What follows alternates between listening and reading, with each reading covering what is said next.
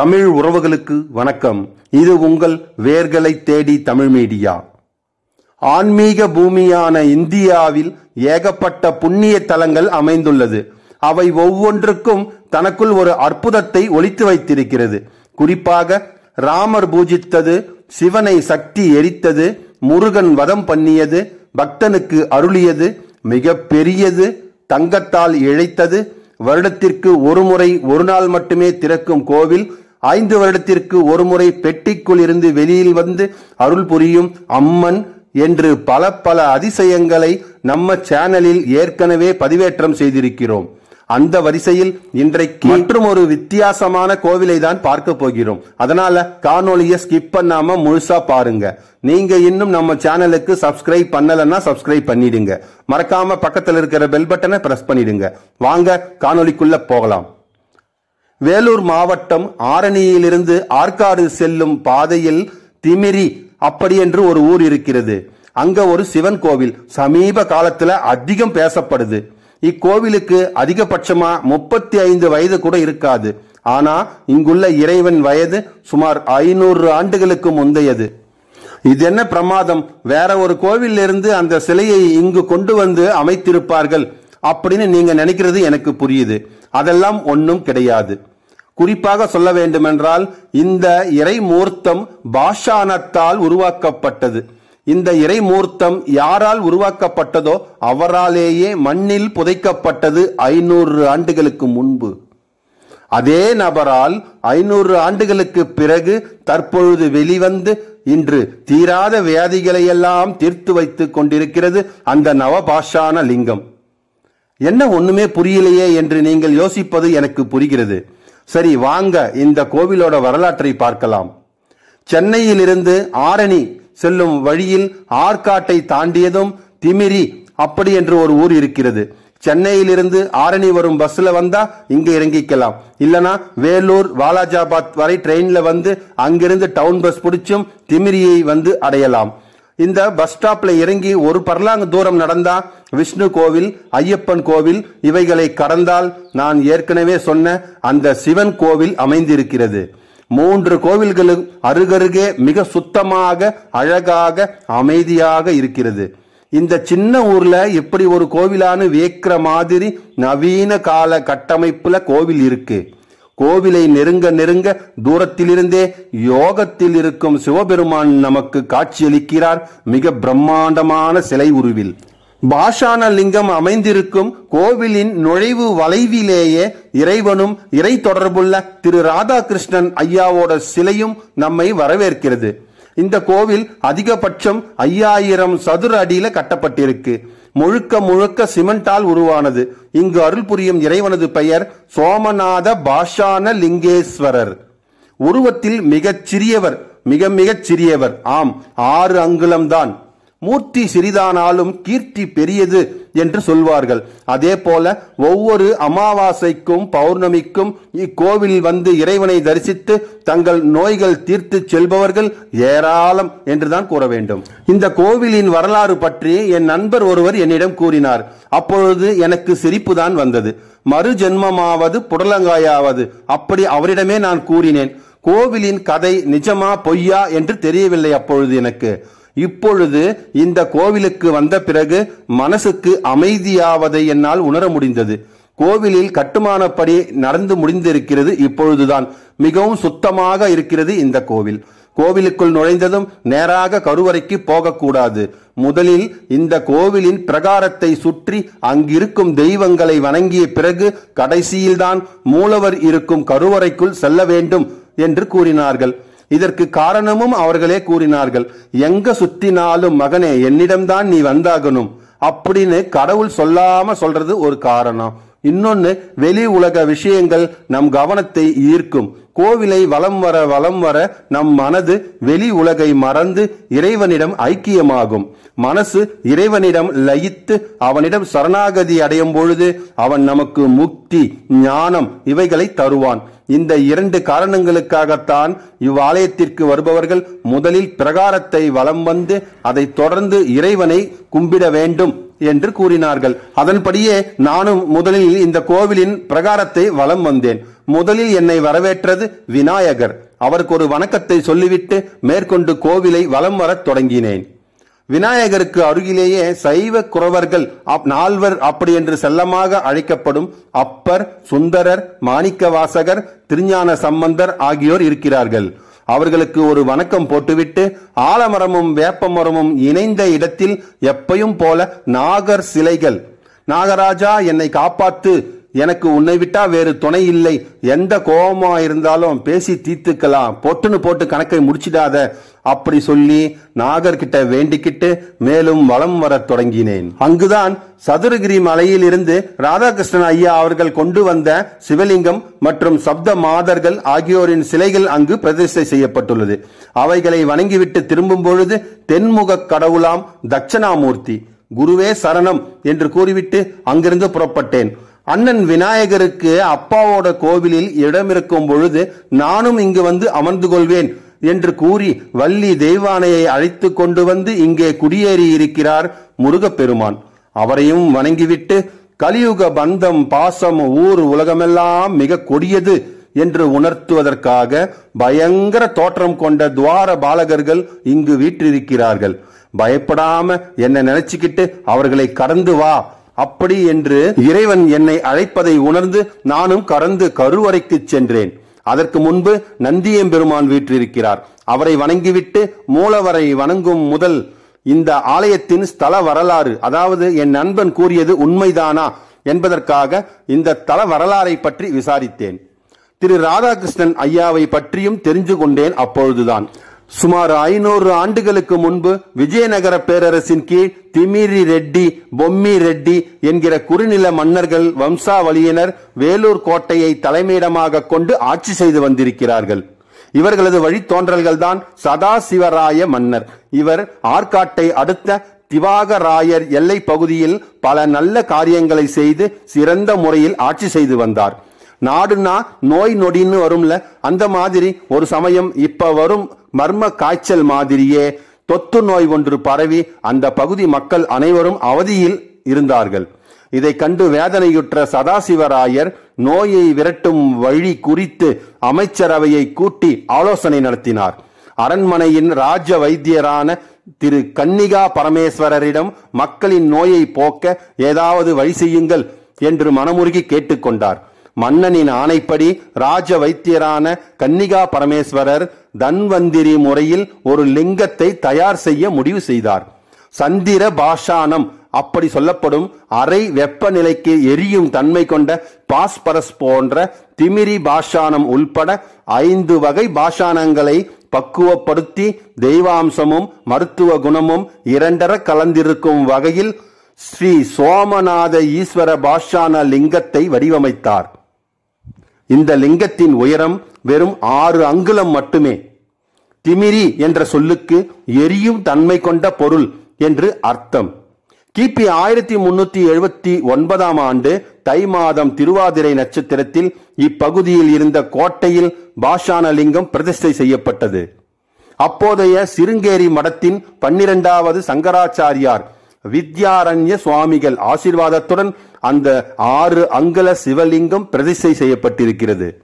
இந்த லிங்கம் ஆகம முறைப்படியும் சித்த மருத்துவ முறைப்படியும் அமையப்பெற்ற இந்த பாஷான லிங்கம் இப்பகுதியில் நோயால் பாதிக்கப்பட்ட மக்களுக்கு அருள் வழங்கியது.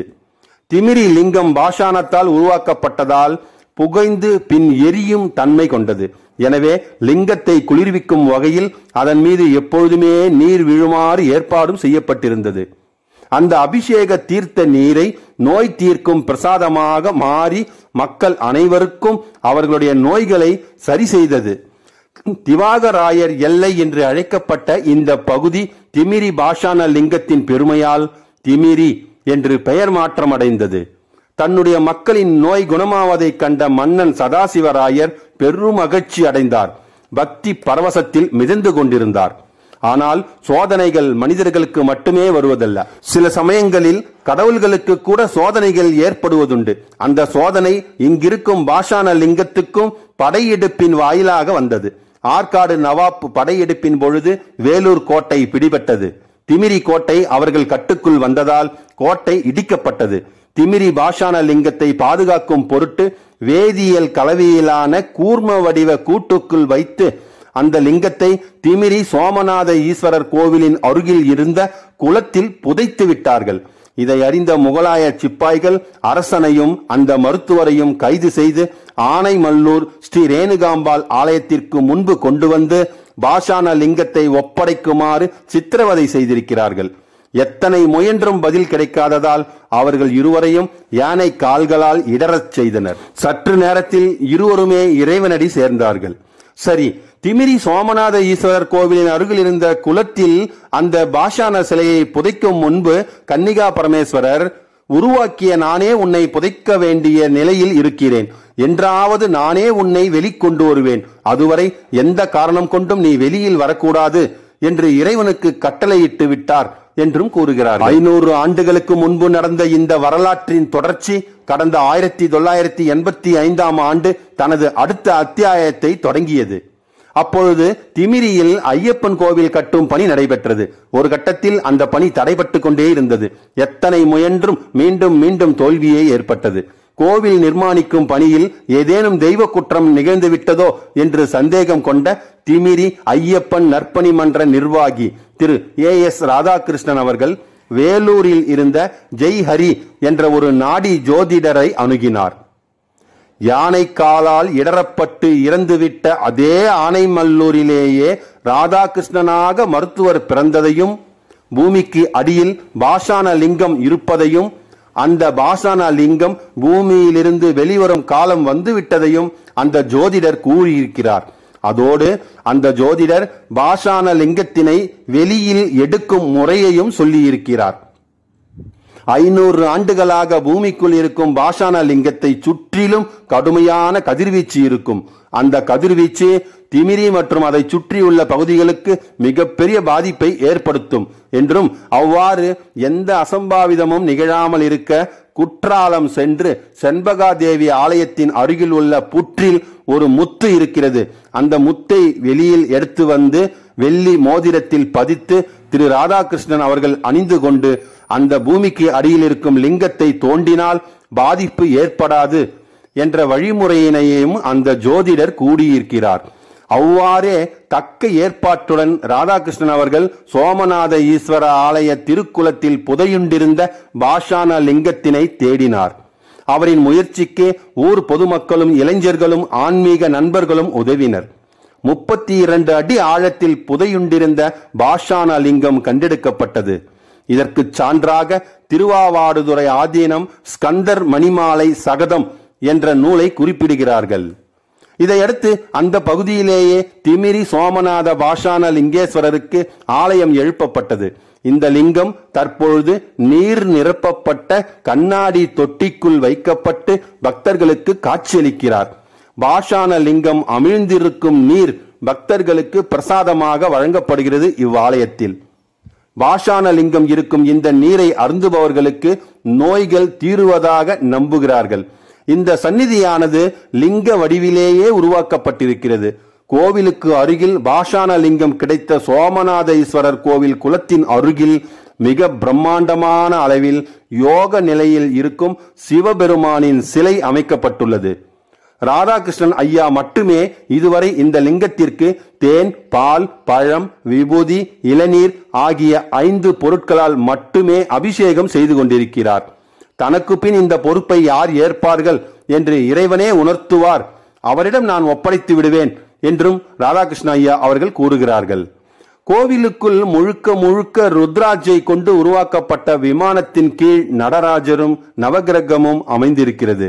பாஷான லிங்கம் கிடைத்த பெரிய குளத்தில் லிங்கம் கிடைத்த பகுதியை மட்டும் சிறிய குளம் போல் அமைக்கும் பணி தற்பொழுது நடைபெற்று வருகிறது.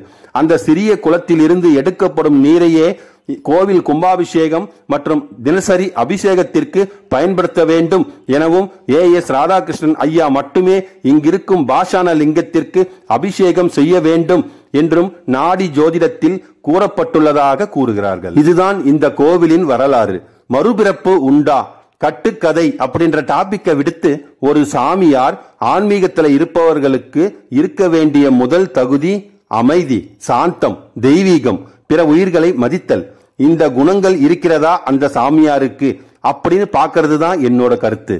எனக்கு தெரிஞ்ச வரைக்கும் இது அத்தனையும் இருக்கிறது திரு ராதாகிருஷ்ணன் ஐயா அவர்களிடம். எளிமை சாந்தம் அப்படின்னு இருக்கிற ராதாகிருஷ்ண ஐயா அவர்கள் இந்த முதிய வயதிலும் தன்னால் முடிந்தவரை மதிய வேளையில் கஞ்சி காய்ச்சி அங்கு ஆலயத்திற்கு வரும் பக்தர்களுக்கு அன்னதானமாக அளித்து வருகிறார். இவ்வளவு தகவல்களையும் தெரிந்து கொண்ட பிறகு நான் கருவறைக்கு சென்று அங்கு வீற்றிருக்கும் ஆறு அங்குல சிறிய அளவு கொண்ட பாஷான லிங்கம் அவர்களிடம் வேண்டிக் கொண்டு அங்கு தரும் தீர்த்தத்தை வாங்கி குடித்துவிட்டு திரும்பினேன். மற்றும் ஒரு குறிப்பு. வீட்டிற்கு இந்த தீர்த்தம் வாங்கிக்கிட்டு போகலாம்னு நினைக்கிறவங்களுக்காக பாட்டிலில் அடைச்சு இருபது ரூபாய்க்கு கொடுக்கறாங்க. அந்த தீர்த்தத்தை அப்படியே குடிக்க கூடாது கொஞ்சம் விபூதியை ஒரு சங்கில் போட்டு அதில் அந்த தீர்த்தத்தை ஊத்தி குடிக்க வேண்டுமாம். சங்கு இல்லாதவர்கள் பஞ்ச பாத்திரத்தில் இருக்கும் ஸ்பூன் அதை பயன்படுத்தி குடிக்கலாம். ஒரு முறை இந்த கோவிலுக்கு போயிட்டு வாங்க. நிச்சயம் மனசு அமைதி பெறுவதை கண்கூடாக உணர்வீர்கள். மற்றபடி மறு ஜென்மம் இருக்கிறதா இல்லையா நம்பலாமா வேண்டாமா என்பது உங்களுடைய விருப்பம். கருவறையை விட்டு வெளியே வந்ததும் கோவிலுக்கு எதிரில் குள்ள முனியாம் அகத்தியருக்கு ஒரு சிலை. எல்லா சிவன் கோவில்களிலும் இருக்கிற மாதிரி சண்டிகேஸ்வரர் அன்னபூரணி காலபைரவர் ஆகியோரும் இங்கு இருக்கிறார்கள். சரி அகத்தியருக்கு இங்கு என்ன வேலை என்று நினைக்கலாம். இந்த லிங்கத்தை பற்றி பலவாறாக விமர்சனம் எழுந்தது. போகர் செய்தது இரண்டே இரண்டு நவபாஷான சிலைகள் தான் ஒன்று பழனியில் இருக்கு மற்றொன்று பழனி மலையின் அருகில் இருக்கும் பூம்பாறை முருகர் ஆலயத்தில் இருக்கிறது என்று பலவிதமான குறிப்புகளை எல்லாம் எடுத்துக்காட்டி இந்த பாஷான லிங்கம் பொய் அப்படி என்று சிலர் வாதிட்டு இருக்கிறார்கள் ஒன்றை கூற விரும்புகிறேன். இங்கிருக்கும் சிலை நவபாஷான சிலை கிடையாது. பாஷான சிலை பஞ்ச பாஷான லிங்கம். பஞ்ச பாஷான சிலை பற்றி அகத்தியர் குறிப்பு எழுதி வைத்திருக்கிறார். அதை பார்த்துதான் கன்னிகா பரமேஸ்வரர் இந்த சிலையை உருவாக்கி இருக்கிறார் ஐநூறு ஆண்டுகளுக்கு முன்பு. அதனாலதான் அகத்தியருக்கு இந்த ஆலயத்தில் சிலை அமைத்திருக்கிறார்கள். இத்தனை சிறப்புகள் வாய்ந்த கோவில்கள் பல இருந்தாலும் கொரோனா மாதிரியான நோய்களில் இருந்து ஏன் நமக்கு விடுதலை கிடைக்கலைன்னு மனசுல கேள்வி எழும்பாமல் இல்லை. எல்லாம் அவனுக்கே வெளிச்சம். தென்னாடுடைய சிவனே போற்றி எந்நாட்டவர்க்கும் இறைவா போற்றி என்று கூறி உங்களிடமிருந்து விடைபெறுகிறேன். இந்த காணொளி உங்களுக்கு பிடித்திருந்தால் லைக் பண்ணுங்க ஷேர் பண்ணுங்க. மறக்காம உங்கள் கருத்துக்களை கமெண்ட் பாக்ஸ்ல கமெண்ட் பண்ணுங்க. நன்றி வணக்கம்.